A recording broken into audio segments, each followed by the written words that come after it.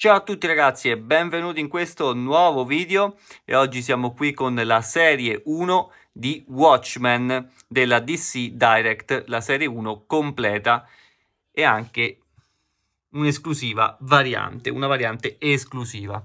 Eccola qua la prima serie, abbiamo Rorschach, Ozymandias, Silk Spectre, poi abbiamo Night Owl, entrambi sia Silk Spectre che Night Owl in versione moderna e qui abbiamo una variante esclusiva del personaggio Rorschach, eccolo qui.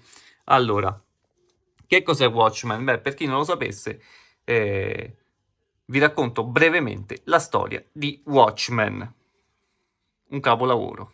Watchmen è una serie a fumetti scritta dall'autore britannico Alan Moore e pubblicata dalla casa editrice statunitense DC Comics tra il 1986 e il 1987. Watchmen è ambientato in una realtà alternativa, ma molto simile a quella del mondo reale, anche se cambiano alcune cose. Per esempio, gli Stati Uniti hanno vinto la guerra in Vietnam. Si svolge intorno al 1985. Stati Uniti e Unione Sovietica sono in piena guerra fredda e sull'orlo di una guerra nucleare. In questa realtà alternativa i supereroi sono parte integrante della società, anche se a dir la verità l'unico vero supereroe, poiché l'unico personaggio che possiede effettivi poteri soprannaturali è il dottor Manhattan, tutti gli altri sono degli avventurieri barra combattenti mascherati. Ed eccoci qua ragazzi, abbiamo cambiato inquadratura, siamo qui con Night Owl perché volevo mostrarvi come è fatta la scatola delle action figure di Watchmen. Allora, qui sopra abbiamo eh, i personaggi principali, vedete qui, riportati in questo disegno chiaro-scuro, la scritta Watchmen con il font inconfondibile tipico di Watchmen e il colore giallo sempre tipico di Watchmen.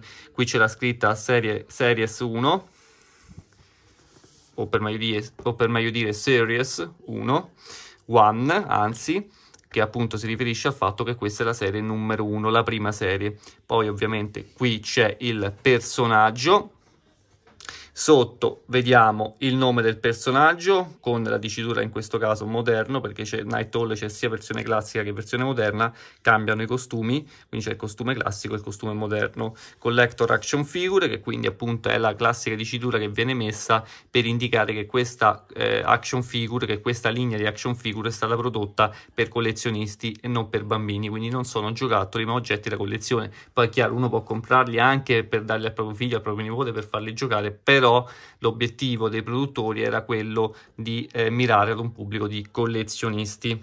Poi qui abbiamo appunto ehm, una eh, dicitura di pericolo, warning, eh, che appunto ci sono delle piccole parti, eh, quindi non adatto ai bambini sotto i 3 anni per età dai 17 anni in su, quindi dai 17 anni in su, appunto per un pubblico adulto.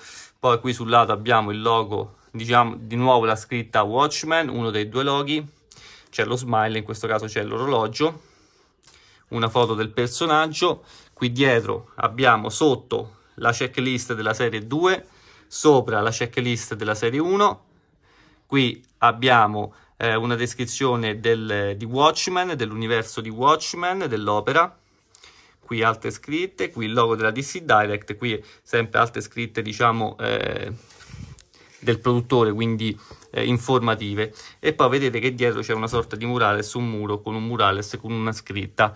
E vale così, questo vale per tutti i personaggi di Watchmen, anche quelli che vi ho fatto vedere prima. Allora ragazzi, si conclude qui questo video, io vi invito ad iscrivervi al canale per non perdervi questo e tanti altri contenuti, in descrizione vi lascio anche i link alle pagine Facebook, Instagram e TikTok del canale, se volete seguitemi anche lì, lasciate un bel mi piace a questo video per supportare il canale, sempre in descrizione trovate il link del blog, se volete fateci un salto e noi come al solito ci becchiamo al prossimo video. Ciao belli!